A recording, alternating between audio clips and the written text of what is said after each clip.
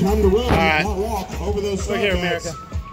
This is an adult race. Now is the time. An adult race Please get out there. 5K, 10K, half marathon, and we're giving out participation medals. What the fuck has gone wrong in this country?